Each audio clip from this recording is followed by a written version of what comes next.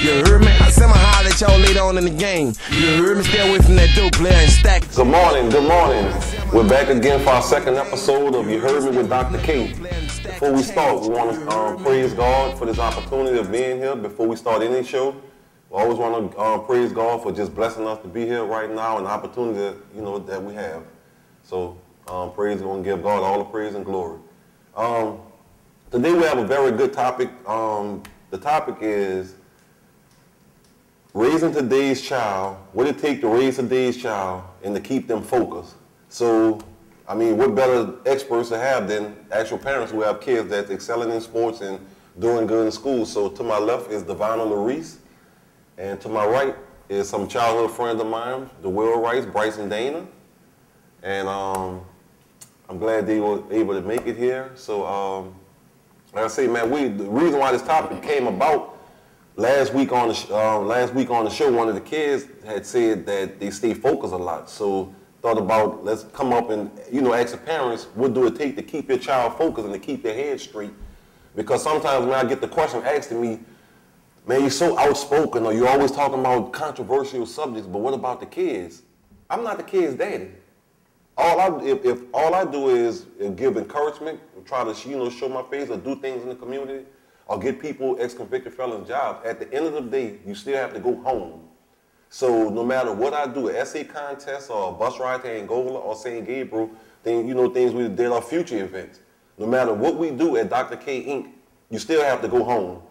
So I'm not no, I'm not anyone's dad, not trying to be anyone's dad. So I can say what I want to see, you know. So um, I'm gonna, you know, I'm gonna get straight to it. Dana and Bryce, I mean, what what do it take to raise today's child and keep them focused? Plenty of communication Yes. and Being honest with kids, just letting them know that you have gone through these things and that it's, that whatever they're going through or whatever issues come up for them, that you've already gone through it or you have a friend that has gone through it and you honest with them on how you, how you all dealt with it. And if you've done something wrong, just be honest with the kids and that way if something is going on with them, they'll always be open to come and talk to you.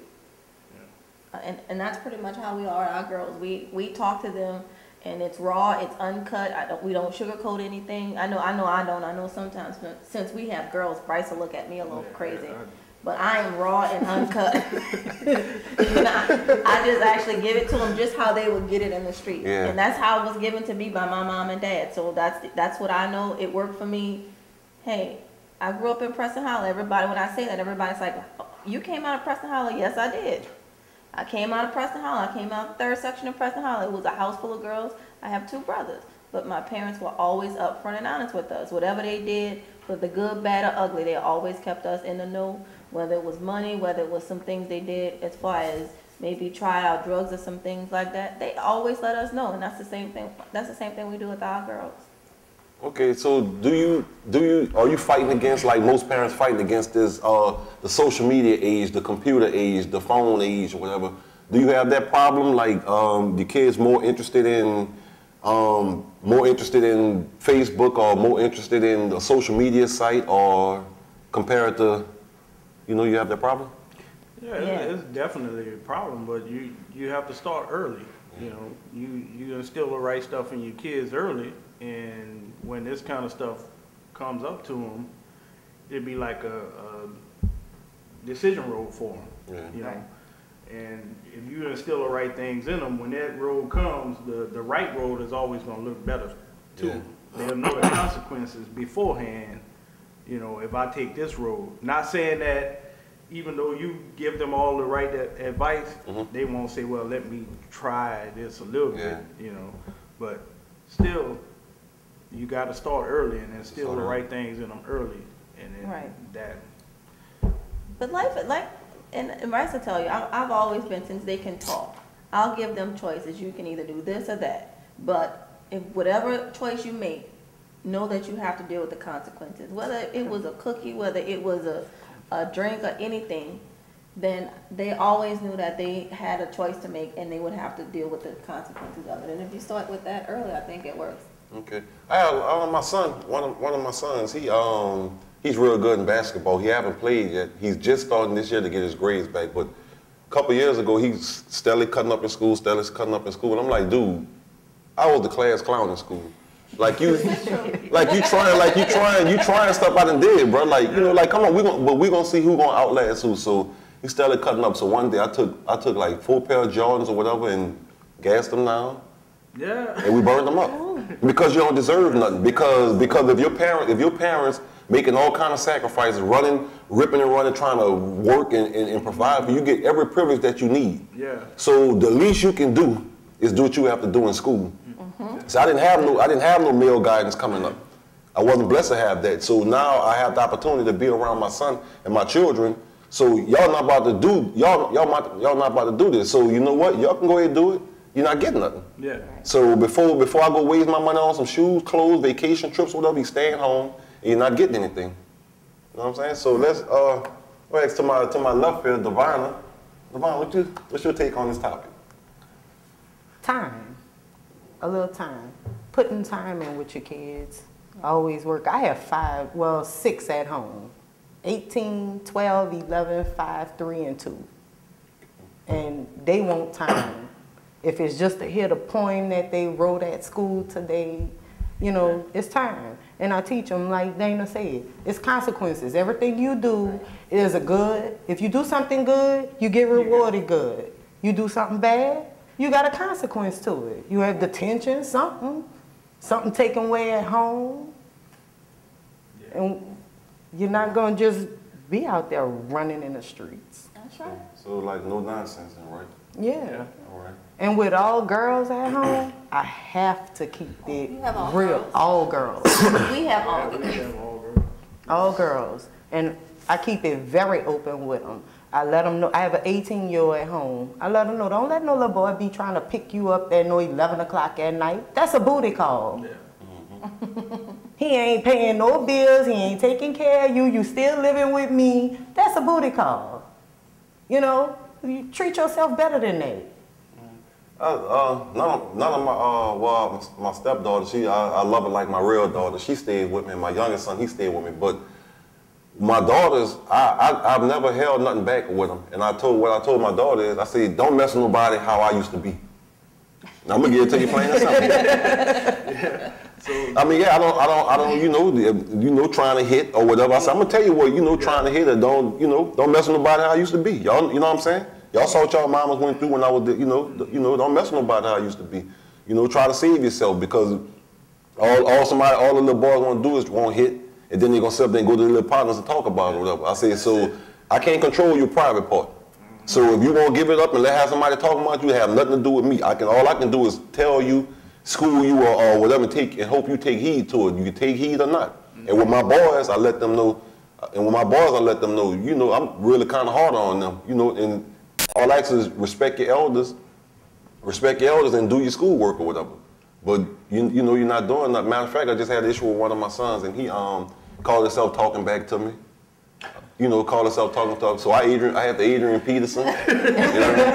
That's how I go down miles. I don't care. I don't care what y'all say, America. You hear me? That's how I go down mine. You ain't, ain't ain't nobody about to dictate how I raise mine. First of all, so take that to the bank. So he called himself brazen up to me, and um, sucker gonna tell me I advise you not to do that again. I'm like, huh? I was boy that fast. Oh, yeah. So yeah, so um, Yeah, Bruce it about so look, it went about, it about two, three months. I told him, I said, bro, ain't nothing. Until you come apologize in front of your other siblings to me, ain't nothing.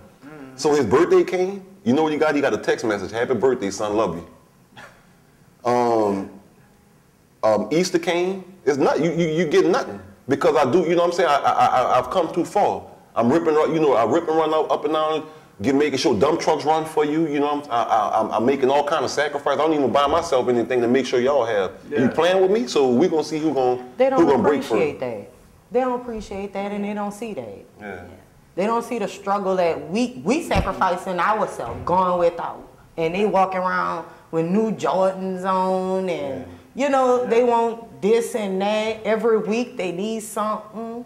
But they don't see that we go without, we don't have. Yeah.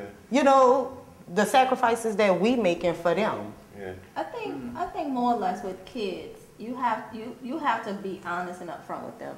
I know Bryce. Bryce probably say I say I tell too much, but I say I say everything. if we don't have no money, look, don't ask for nothing. We ain't got no money right now. Oh, okay, mom. Are they? And now Yeah, they're they at the that now. uh, They say they're at the now. point to where they'll ask, um, before I say something, do we have any extra money? because I'm upfront. Yeah. We don't have, we may not have it. We and now if we if we trying to do something, whether it's a car, a house, or or get you know save some money for something, take a trip, I'll say, okay, this is what we're doing. Don't ask for this, don't ask for that, because we try we trying to get we have a goal in, in mind, and we all have to, you know, contribute to this. I'm not asking you to give money, but I need you to be considerate of what's going on with, in the household. Mm-hmm. Everybody has a role, and I think if if kids understand their role in the household, then everybody is fine. This is daddy, I'm mama, you are the child. You have you have two jobs to do. You have your job, your first job is to go to school, make sure your grades are right. Your second job is to make sure whatever chores you have to do at home. Now that's a big thing at our house. We have all girls. They all honor students. Their rooms are not the best. That's my biggest thing with We don't we don't have but we don't have like the talk back thing, we don't have any of that. So I let a lot of stuff slide because I don't have a whole a lot of issues that I hear about. You know, that I, I'll read on Facebook or see other parents dealing with. So some stuff I let slide. Bryce is a military guy. So of course he's more organized. I'm not I'm not as organized myself. So I, a lot of stuff I'll let go. But I'll say, okay, when I'm tired of it, look, get it together. And they don't know. Even if I'm out of town, because I know y'all see sometimes I'm on Facebook, I'm out of town. But even if I'm out of town and I'm about to come back home, they don't know when I'm coming home now. Yeah. So they try, they try I don't tell 'em- to clean up the the 'em no house. gifts. Everything is always in place before I get there. But they, they know. But that's a, that's the respect that they have. Yeah. But we've had, I've had that one thing where my oldest daughter, I think she made about 13 and she got a little smart or something. And I was sitting on the sofa that night, me and Bryce watching TV, and she said something and went in the room and closed the door. I said, oh, okay. Okay. Hmm. I put on my shoes and I walked in the room and I locked the door behind me. And I said, the best woman will walk out of here. I heard Bryce jiggling the knob at the door. She didn't come out that room till about three o'clock the next day. Because you're not gonna talk to me any kind of way. We make too many sacrifices in this house. And to this day, I bet you can't tell, she can't even, she won't even raise her voice. But the other two saw that. And I've never had any problems out of the other two. They heard the bumping and, and all of that, but I've never had any problems out of, out of them. But I think if you upfront with kids and they understand where you're coming from, and they know you're not coming from a, a mean place, you're coming from a place of love, they'll be more open to take what you have. Mm-hmm. And So just we- being a good parent. Just being honest and open. Yeah. You open You know, yourself up. we have what we have is and the them see that you have faults. right. Yeah. Yeah. You're You not know, yeah. perfect. Well, You're I'm totally perfect, different. you're went in the room and slammed the door, and I took the door off the. And till today, she has no door in her That's my room. mom. They didn't want to take the trash out. That's I my took the trash can and put it outside it- by the big garbage can. So now you have to go all All the the way way outside. outside to throw something away. Ask them. Yes, I plays games. Y'all want to play? Let's play. Right. Ball. Game time. Yeah. game. Game time. I mean, man, that, I mean, I know, I know. I mean, I met y'all daughters. I've seen them in the car, but I actually met them a couple weeks when we was on the lake. Yeah. About a month ago, I met them Yeah. on the lake, and I mean, the spirit when they got out the car. Hey, how you doing? They, you know, the spirit. They, they, they just, the spirit. They just the respect. Just, just the, just them. Period. You could just tell is they're, you know, coming from the right home, Just like with her, her girls. Her girls always say me, they so respectful. Hey, Mr. Ant, I get a hug from them. Whatever. And like I said, it's nothing I won't do for them because they're always participating. It's just, I just, you know, know them. They're, you know, Divina, she's an excellent mother. Like every day, she literally have at least 10, 15 kids out the neighborhood in her house. Oh Lord, I know that. That's every day.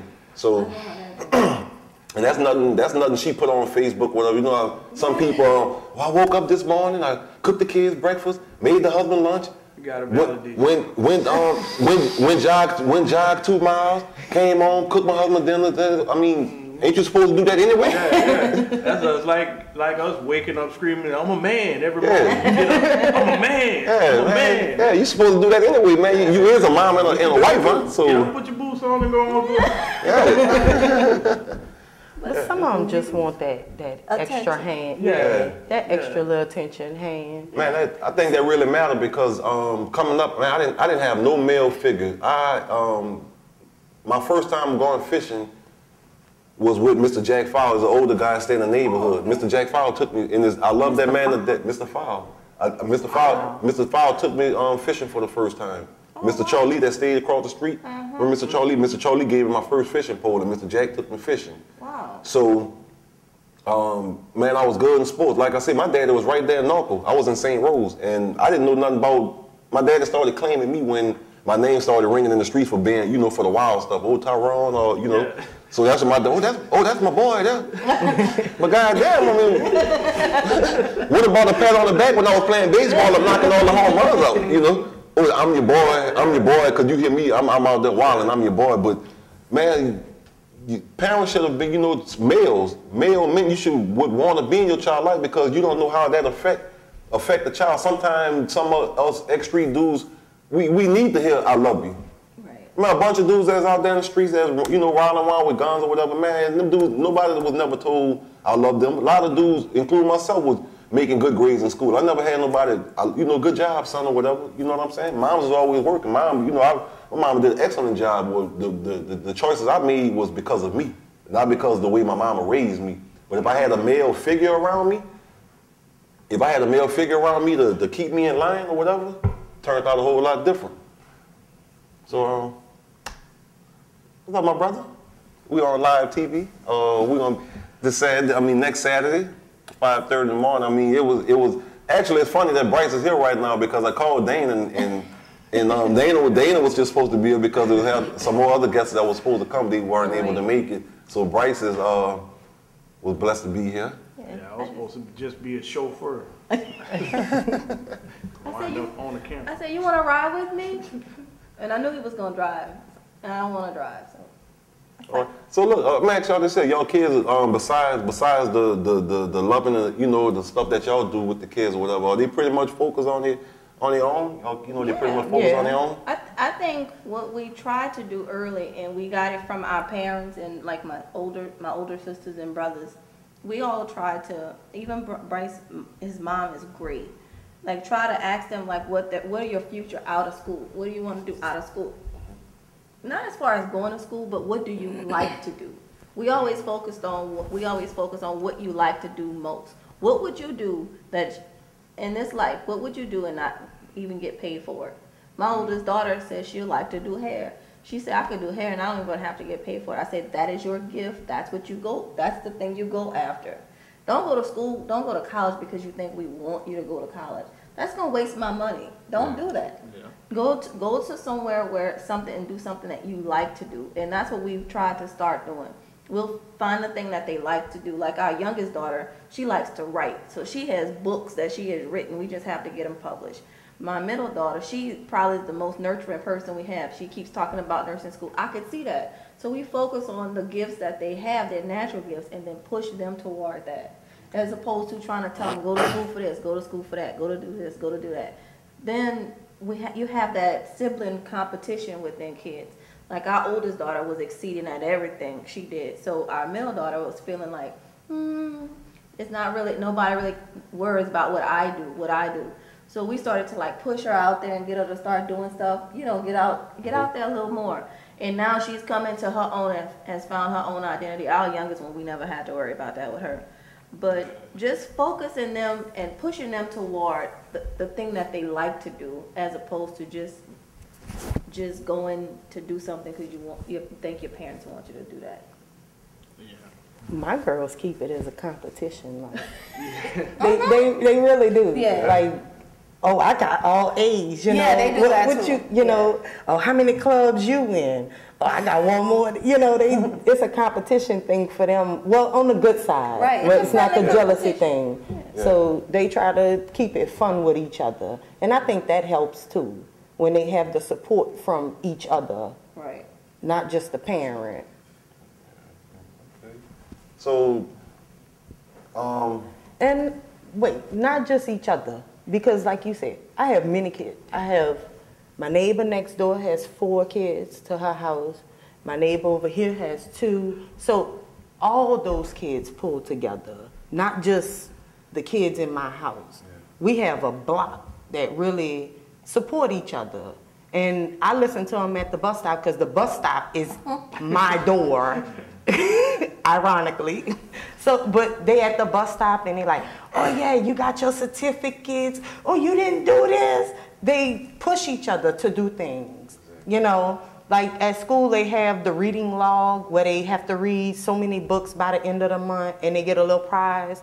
And my daughter's a reader and she there's she's at the bus stop with three other little guys and she pushes them y'all not reading y'all books come on you know so it's them supporting each other too what's keeping what keeps them going So basically, so basically, always go back to the home, Right. regardless of regardless of regardless of this TV show, regardless of um, the essay contest, regardless of what me and Devonna do, regardless regardless, you know, like I said, not trying to be no one parents, but it always go back to the home. And like I say, I guess that it, it you know it take it takes like when you in a um, both parent home, husband and wife, it, it takes a joint effort to make sure that you keep them focused and at the same time keep it real with them because if you sugarcoat with them at home and they get out in that real world, you know, you, you, you're basically just hanging them out to dry.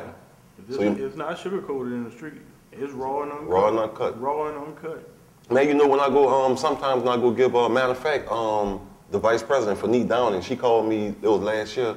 They had a a, a child a youth summit in um, Cologne, and so she called me like, "Hey, you want to come talk to the youth?" I'm like, "Sure." Like, yeah. So I get there. I see a church band up like, "Welcome to the youth revival." All these vans pulling up. I'm like, man. Like, Carl, I'm like, hey, you told me this was supposed to be um, the youth. I'm thinking I'm talking to a group of kids. This the whole church. I'm talking about, man, they had like 10 different pastors there. Different, man, they had like five different youth organizations, and the whole church was packed. People standing up and everything. Oh, wow. I'm like, Lord, so I went up there. Like I said, I, I always give speeches like the people organization, even with this TV show. I never write anything down. I just sit there and I just get in that vein and I, I sit and, and look at the crowd, what have you. And man, I went up there and I gave it to him raw and uncut. In the, you know, we in church, so I gave it to him raw. How the Lord came, it came, everything came out my um, mouth raw and uncut. But it was, it was a nice raw and uncut. And man, when I love you, had the pastor, the, the pastor congregation, everybody like, oh yeah, we love this here. Y'all heard that, youngsters? And he gave it to y'all raw, and, and we, you know, and they want me to come back, you know. Like I I spoke at Wild Wayne um, summer camp. Um, I spoke at um, Annette Jones summer camp. She's someone who I love dearly. She, I had to stop the violence summit, and she came and spoke for free when I first started, whatever. So I go speak with her at, at her camp. And um, like I said, she, you know, everybody who I really deal with, they're really intertwining their kids, and all of them, you know, focus, focus little kids or whatever. So like I said, that that topic came up, and me and Devon had been talking about it. I called her. I'm like, man, what the topic is again for? um, what the topic is, and she goes, oh yeah, and so um, we we here right now talking about the topic. So, um, man, we have some different we have different things coming up. Well, the show probably been showed, the show probably been showed, but next week we'll have some um, Wednesday, Thursday, and Friday when the kids get out on half a day. We're gonna do some things at Something- that just something yeah, small something small and sweet. Uh, the Wednesday. appreciation for our Yeah, little appreciate kids for the kids. That Wednesday we'll have um, it'll be nachos and We're gonna do like nachos and frozen, Frozen cups cups, one day. Thursday we'll do Another hot day dogs. we're gonna do hot dogs And and, drinks, and then we're gonna do pizza one day. that Friday. Okay.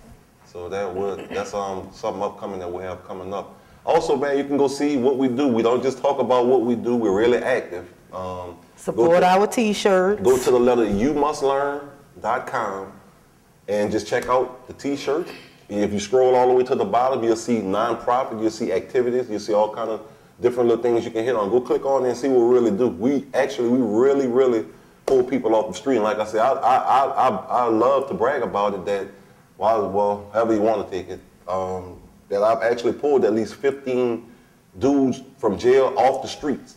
All of them have jobs. All of them, they're plumbers, they're welders. You know, um, guys call me when they want to talk about something. Man, I, I got into it with such and such, such, and, and I'm honored to see that I have enough. That I was hundred with, with people, you know, all my life, or whatever. That they'll sit down and listen to me and put this gun down and, and you know and go the other way or whatever. So I mean, you want to work with us, you can give me a call at 504-813-2915, or you can call Divina at 504-621-2493. Like And support us. Log on. Get those t-shirts. t-shirt because the t-shirts actually fund what we do.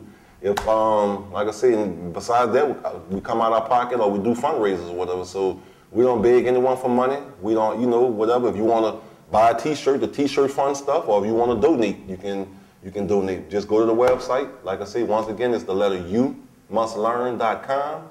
And you can contact me at 504-813-2915.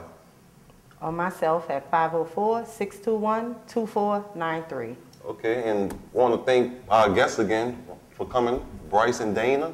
Um, Will Wright, that is. And like I said, let me inject this here, because I love this. I, I grew up with her. You know, What you you- about to say? Look, it's so funny. We grew up together. Me and Dana, me and Dana grew up on the uh, same street. And her and Sam and Monica, they jumped me one day. and uncle, Knew you was gonna bring that up. Look, my uncle, I ran home. Boy, look, 'cause it was it wasn't nothing to mess with down there. I ran home. Uncle, get your go go down there and fight them all. I said, man, screw up down there. and lo and behold, my crazy tail go down there and got skinned up like a cat. So like I said, I always mess with her, always mess with it. Like I said, man, that's childhood friend. We come up, we come up from young. You know, we grew up together. Her mom, Mr. Mo- uh, Mr. Maurice and Miss Sadie, that's like, you know, extended parents. I ate at their house a many of times. Got fussed at them many of times. I played in their house and whatever. So, you know, it's all family. Bryce grew up with him. Uh, went to school together. Every time he stayed in those same rooms, I stayed in Preston Hollow. So we we was always just in our separate whatever, but we always had a good relationship. I consider him a friend of mine, good childhood friend. And Divana, to my left, I mean, she's the secretary for uh, not Dr. K. Also, she's a childhood friend. I love her kids like they're my own, and nothing I wouldn't do for them. And you have any words you want to say? Support our t-shirts. YouMustLearn.com. You Or heard me. contact me. Contact you at what number again? 504-621-2493. And mine is 813-504-813-2915. And the website is, once again, the letter U. And they have a leaflet right in the corner. You can click that leaflet and it'll bring you to the nonprofit, or you can uh, scroll down and they have a button for the nonprofit also. We want to just thank you for having us and asking me to come over. We actually are headed out in a, right now. We have the bachelorette. Our daughter's graduating Thursday, so we headed over to Destrehan now to see her in our cap and ma'am. gown for the first time. And we have an open house with our other daughter. So we At go. Camden? No, no, at um, um, Shefner. Shefner. So Oh, we're gonna split it out, and I really appreciate this. And I think more topics like this should be talked about. Oh man, we have a, we, yeah, we have a bunch of different, we have a bunch of hard hitting topics that's going to stay coming to you also. Y'all just stay tuned with us and, you know, keep us on tuned in every other Saturday, 5:30 on WUPL. Get with us at Dr. K. You heard me. You heard me? I said holler at y'all later on in the game. You heard me? Stay away from that dope player and stack of change. You heard me? I said I'ma holler at you later on in the game. You heard me? Stay away from that dope player and stack of change. You heard me?